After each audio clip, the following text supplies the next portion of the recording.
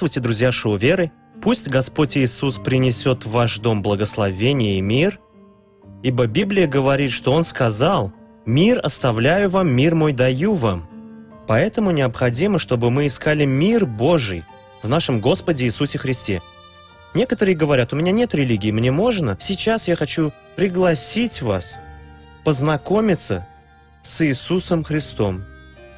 Не говорить «я христианин», а узнать Иисуса. Говорить в молитве с Ним, и Он ответит вам. Имейте с Ним открытые отношения, общайтесь с Богом. Все это возможно через Его Слово. Слово Божье обладает силой, чтобы освободить от зависимости, не допустить греха, помочь человеку найти свой путь. Вы сегодня нуждаетесь в направлении, вы запутались, ситуация безнадежна, Господь Иисус хочет изменить вашу жизнь. Бог может сделать грандиозное. Библия говорит нам, что апостол Павел э, в один из заключительных моментов своей жизни был э, обвинен в тайном заговоре против Римской империи. В Библии написано, что все, кто был с ним, оставили его. Возможно, вас тоже все бросили. И он написал об этом. В Деяниях апостолов он сказал, все меня бросили. Только Бог дает мне силы, и с этой силой Божьей я закрыл пасть льву. Он смог освободиться и избежать э, наказания. Может, вы чувствуете себя так же, и Бог хочет, чтобы вы призывали, чтобы вы пришли в Его присутствие. И освободились от пасти льва. Лев рычит, лев пугает, он разрывает людей, но Господь Бог могущественнее льва. Э, льва несчастий, льва печали, обид и разных других проблем. Бог хочет дать вам выход. Просто полностью доверьтесь Слову Божьему. Затем я хотел бы, чтобы вы внимательно посмотрели историю из реальной жизни, невероятное свидетельство измененной э, жизни, несмотря на тяжелые моменты, нерешаемые проблемы, Бог сотворил чудо в этой жизни. А потом мы помолимся за всех людей, и в конце я вернусь назад в студию, чтобы поговорить с вами во имя Господа Иисуса. Давайте начнем шоу веры вместе с вами. И для Иисуса эти прекрасные аплодисменты. Друзья мои, как прекрасно присутствие среди нас Святого Духа Господа, открывающего нам Слово – и мы продолжаем наше изучение, и очень скоро я перейду к нему, к третьей книге царств, в главе 19, той важной теме, которую мы э, продолжим изучать. Но пока я хотел бы изучить с вами еще одну часть слова, которая бросилась мне в глаза и привлекла внимание. Это особенно важно для людей, которых преследуют напасти. Доктор Суарес, это про меня. Я постоянно страдаю. Что же мне делать? Псалмопевец сказал в Псалме 138, в стихе 7. Если я пойду посреди напастей, что же произойдет, Давид? Ты, обращаясь к Богу, оживишь меня. Ты дашь мне жизнь. Итак, посреди напастей вы становитесь подавлены. Вы становитесь э, нерешительны. Похоже, что у вас нет энергии, но Бог оживит вас. Что еще? Прострешь на ярость врагов моих руку твою. О мой брат, не надо бояться ярости врага. Но столько напасти, столько борьбы, доктор Суарес. Но разве Бог прячет свою руку, которую он может спасти? Он простирает свою руку. Эта простертая рука означает, что он направляет свою силу на мою защиту. Так что, если вы чувствуете, что нечто плохое может с вами произойти, остановитесь. Теперь я поговорю с Богом. Я помолюсь. И если я пойду среди напастей, я не буду мальчиком для битья. Господь даст мне энергию, Господь оживит меня. Я буду сражаться. И что еще? Прострешь на ярость врагов моих руку твою, и спасет меня десница твоя. Твоя сила творить, бороться, побеждать врагов принесет мне победу. И что еще вам необходимо? Только поблагодарить Бога и твердо держаться.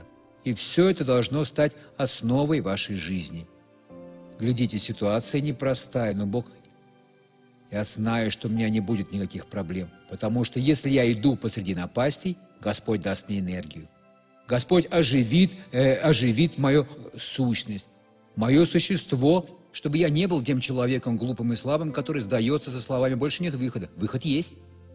И Господь сделает для меня еще две вещи, всего три вещи. Вторая, когда Господь простирает свою руку на ярость моих врагов, они, бедолаги, просто не выдержат. Рука Бога очень могущественна. И что еще Господь сделает? «И спасет меня десница Твоя, и я одержу полную победу».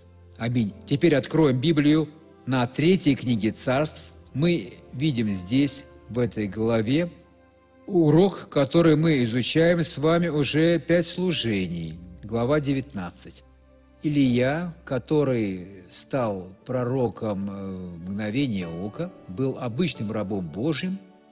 Тот, кто принес засуху в Израиль на три года и шесть месяцев, который заставил Ахава впасть э, в отчаяние из-за того, что он не послушал слова посланника Божьего. Поразительно, друзья, как действует Бог. Израиль, просто чтобы вы понимали – вдвое меньше Московской области. В те времена он был немного больше, но совсем незначительно. И произошло разделение. Образовались две нации. Ими были Иуда и Вениамин, называемые Южным царством, и, и десять колен, образовавших Северное царство, получившее имя Израиль. Там люди были развращены, цари, и они вели людей к э, развращению – Бог повелел, чтобы Илья обличил царя Израиля, не Иуды. Там творили добрые дела. Он пошел и обличил. В Иудее жил человек, очень значимый в те времена. Когда Ахав был царем Израиля, его звали Иосафат. Он был образцовым человеком. Но Ахав не захотел слушать пророка Илию. И смотрите, что сделал Бог. Бог умеет делать дело, как положено. Илья сказал, «О, царь, согласно моему слову, это был первый раз, когда он выступил как пророк. Он был одним из жителей Галаада. То есть человек может быть простым рабом Божиим, обычным верующим, простым прихожанином церкви, если есть миссия, Бог даст. И вначале Бог э, решил его привести туда. И пока он говорил, Ахав, наверное, над ним смеялся. Ну, брат мой, прошло три года и шесть месяцев, и в течение этого времени не выпало ни капли влаги. Выпало в Ливане, выпало там, где сейчас Иордания, выпало э, там в Иудее, в Иудее, от Иерусалима на, на севере и дальше на юг. Там шли дожди, но в Израиле не выпало ни одной капли влаги, даже росы. Три года и шесть месяцев. Когда настал момент, он был тем, кто накормил вдову из Сарепты Сидонской, горской муки и небольшим количеством масла, пока снова не пошел дождь, дав им еду. Когда ему настал момент вызвать дождь, Бог сказал, иди и предстань перед Ахавом. И тогда он предстал. «О, возмутитель Израиля!» Он сказал, это не я возмутитель, причина в тебе и в твоей, в твоей семье. Собери теперь всех пророков э, Ваала и Дубравных на горе Кармель, я покажу им, кто истинный Бог.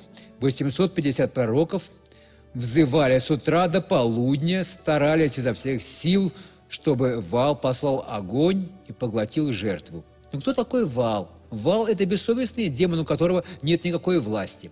И Илья даже провоцировал. Кричите громче, он, наверное, путешествует, поэтому не слышит вас. И они взывали, просто убивались, Потом Илья помолился, восстановил жертвенник Господа, возвал к Богу, Бог послал огонь и поглотил все. Он покончил с теми пророками.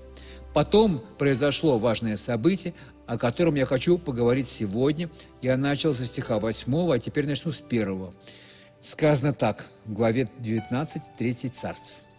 3 царств, глава 19, стих 1.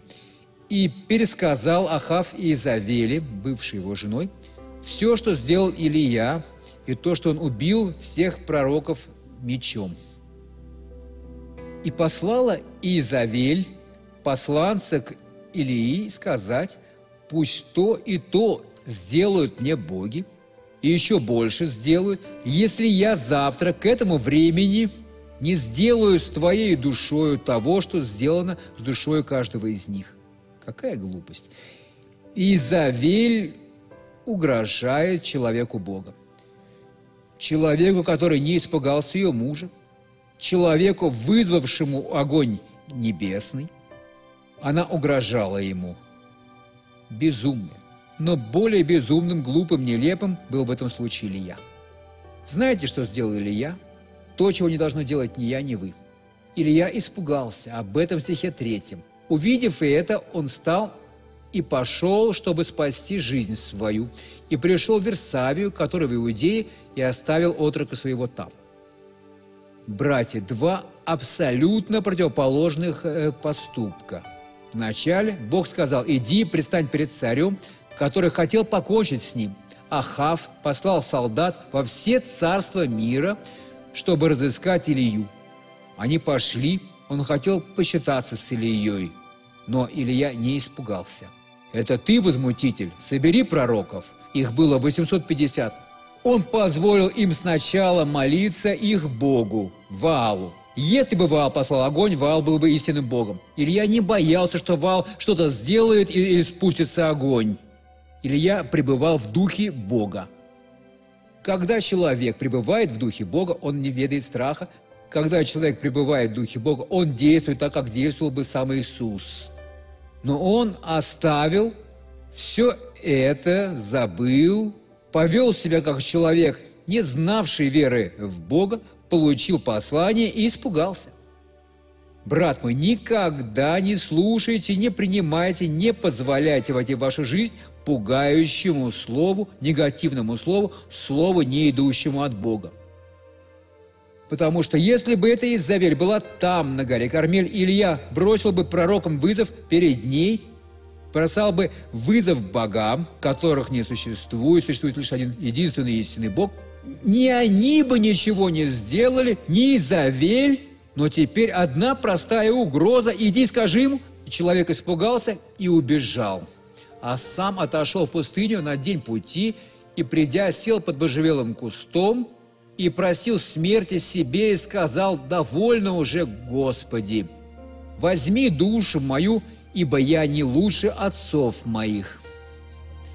Никогда так не поступайте. Не давайте повода Богу огорчаться, разочароваться в вас – но, доктор Суарес, угроза реальная. Брат мой, вы перед Богом в безопасности, вы отважны. Вы вызываете огонь с небес. Вы заставляете силу Бога творить. Без Бога вам не имеет смысла бежать в пустыню. Он ушел туда. Если бы она захотела, послала бы за ним. Если бы это было в ее силах, если бы была воля Бога, чтобы так произошло. Но на то не было воли Бога, а он испугался. И там он укрылся под можжевелым кустом, простил смерть, заснул. И пока он еще спал, смотрите, что произошло. Пять.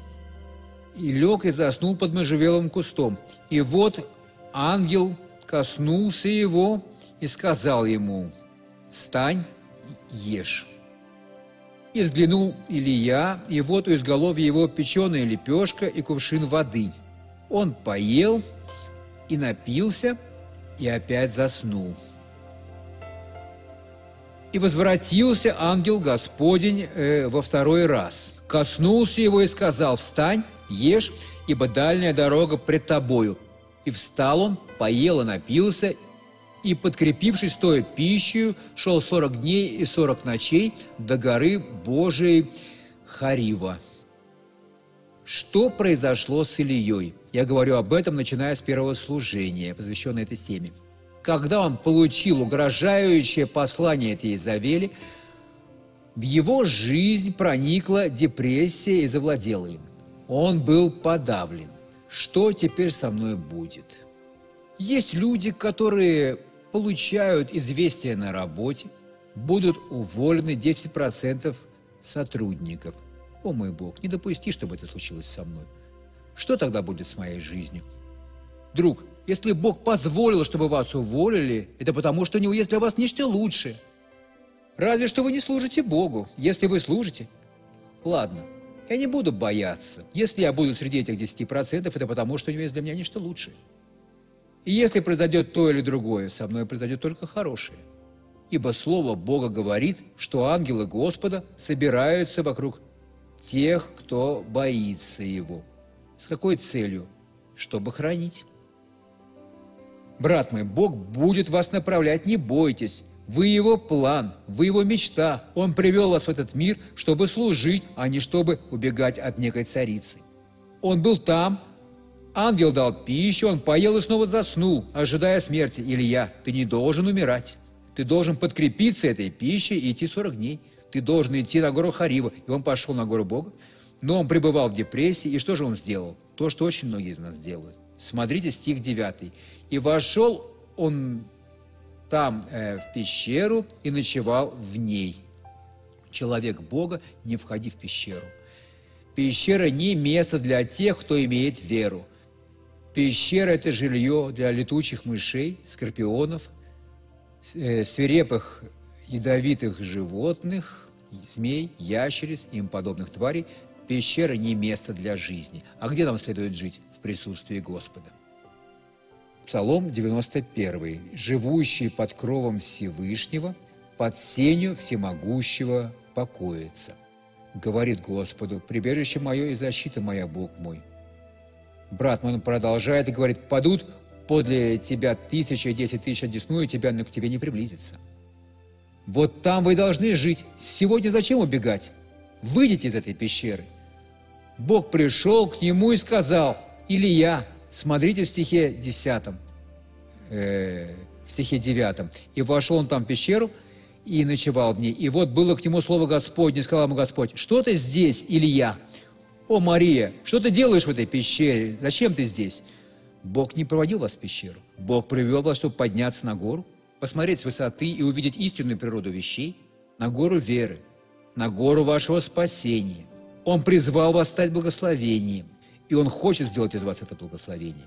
Позвольте мне благословить вас, Отец, во имя Иисуса. Я пришел к Тебе в этот момент ради всех тех людей, которые молятся со мной. У некоторых, Отец, ситуация очень тревожная, почти полная безнадежность все идет с трудом. Проблемы все нарастают. Но, Отец, в этот момент я объединяю свою веру с верой этой жизни, этого человека. Я благословлю его. Я разрушу в его жизни все происки нечистого, и он теперь станет свободным. Отец, коснись, чтобы исцелить коснись, чтобы освободить. Отец, сейчас эта боль уйдет, где бы она ни была, в теле или в душе, и я говорю во имя Иисуса. О, демон, ты знаешь, что Бог дал мне власть над тобою, и ты знаешь, что я нахожусь в присутствии Бога, чтобы освободить этого человека. Теперь забирай все свое зло, я тебе приказываю – ты, кто проник в эту тазовую кость. Я не знаю, что там произошло, но я тебе сейчас приказываю выйти во имя Иисуса. Уходи со своей болью в душе, уходи с этой своей угнетенностью, с этими своими страданиями, с этой тоской. Сейчас же, во имя Иисуса. Отец, я знаю, что сейчас придет ветер, ветер, который разрушает даже скалы. Сейчас придет землетрясение, Бог, которое встряхнет все. Твой огонь уже сжигает все зло, а твой голос мягкий и нежный передает этому человеку послание, послание победы, Отец. Во имя Иисуса большое спасибо. А вы скажите Аминь. Переходим к истории из реальной жизни.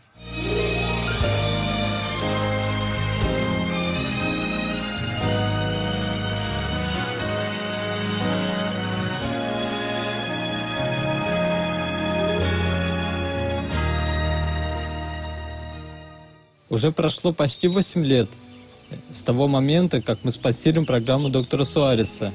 Бог призвал меня и коснулся моего сердца, чтобы я помогал.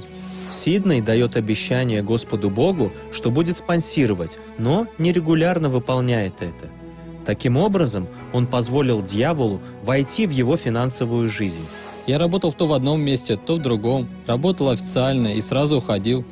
Стал работать с продажами. Там все очень, все очень нестабильно. Она потеряла работу, потому что на ферме начались сокращения. Она прыгала с места на место. Мой доход никогда, никогда не увеличился. Был где-то 300 реалов в месяц. Мне хватало только, чтобы заправиться, заплатить за воду и свет, и все. Хватало на самое основное. И, и мне даже не всегда удавалось платить срок. Иногда не получалось платить и спонсорские. Не получалось и отдавать десятину Господу Богу, потому что не оставалось ничего, чтобы заплатить. Всегда были какие-то трудности. Бог снова касается сердца Сиднея, и он понимает, что должен быть верен. Через слово он заговорил со мной. Знаешь, ты должен продолжать свое дело, быть верным, потому что, потому что в этой программе Бог использует доктора Суареса, чтобы донести слово Господа Бога всем людям. И я четко видел, я видел, как Бог наделил меня силой. Он не посмотрел, не посмотрел на мою ничтожность. Он дал, он дал мне возможность, чтобы я смог развиваться, помогая ему, чтобы я был, был опорой в его доме. Я взял карточку, я даже не знал, были ли деньги, взял и заплатил. Тогда все стало быстро налаживаться, потому что, э, когда ты стараешься, Бог вознаграждает тебя за это. Я определил свое место. Стать риэлтором. Стать опорой в доме Господа Бога. Я прошел курсы риэлторов. Бог открыл дверь работы. Я стал быстро расти. Мне даже не пришлось ходить куда-то и искать себе работу. Однажды я разговорился с одним человеком, и он мне сказал, «Знаешь, кто-нибудь откроет тебе эту дверь?» Я сказал, «Аминь». Потом я сходил туда, поговорил, Вернулся на следующей неделе, когда я уже работал. Теперь у нее все хорошо. Теперь я, слава богу, живу спокойно. Я получил э, хорошие результаты. Он быстро развивался с того момента, как он устроился к нам. В этом месяце он продал уже, по-моему, две, две квартиры. Все происходило как-то необычайно быстро. И теперь я процветаю, моя жизнь полностью наладилась. Теперь его доход в 10 раз больше, чем раньше. Более того, моя жизнь уже не суматошна, жизнь стала более спокойнее. Уже не надо зачем-то гнаться, туда-сюда, получать зарплату, не подобающую ни одному христианину. Слово гласит, что во всех наших начинаниях мы будем победителями. И, и, и я твердо верю в эти слова из Святого Писания. Я уверен, что победы не избежать. Бог помогает мне, потому что когда вы готовы помогать Его делу, Он дает условия, чтобы вы росли в жизни. Слава Богу. Переходим к первому вопросу. Почему есть люди, которые борются, и им ничего не удается, а другие все легко получают без борьбы? Есть ли в этом вмешательство Бога? Сестра, я не знаю, существует или нет. Библия гласит, что от Бога идут лишь добрые дела, от демона лишь плохие. Но я уже застал за время своего служения людей, просивших чего-то у демона, и они чего-то добивались. И демон уверял, что это он дал им. Демон никогда ничего не дает людям. Однако есть люди неблагодарные, и которые однажды скажут, знаете, Бог подтвердил, что Он существует, дав мне это, но я не признал Господа. Это уже серьезно. Теперь давайте поднимемся, чтобы помолиться. Настал очень важный момент, когда Бог э, посетит вас, момент, когда Бог благословит вас.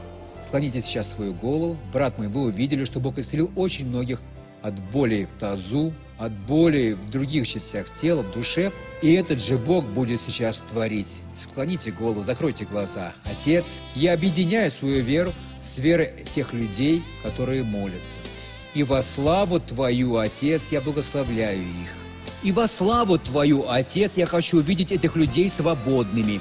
Я хочу видеть, о Бог, главу этой семьи с поднятой головой, потому что этот год будет годом победы его и его семьи. Я хочу видеть, о Бог, людей свободными от долгов, от проблем самого разного рода. Я хочу, чтобы эти люди получили сейчас Твое благословение. Я благословлю сейчас всех. Во имя Иисуса я требую сейчас дух, вызывающий все неприятности в жизни этого человека, забирая все свое и убирайся во имя Иисуса Христа. Итак, мы с вами вернулись назад в студию и, увидев благодать Божью, льющуюся в жизни людей, я спрашиваю себя, почему у нас нет этого? Что они какие-то другие, особенные? Ну, конечно же, нет. Мы все равны перед Господом Богом. Сейчас мы с вами должны действовать. Вера без дел мертва. Нужно показать. У меня есть вера. Покажите, что у вас есть вера. Покажите вере в Бога.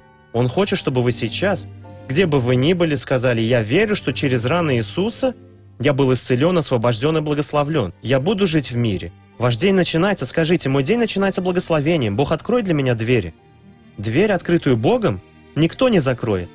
Я призываю всех тех, кому нужна молитва, кто говорит, Давид Суарес, мне нужна ваша помощь в молитве. Не мог бы доктор Суарес помолиться за меня? Наш имейл и наш телефон на вашем экране – мы полностью в вашем э, распоряжении, чтобы помолиться за вас.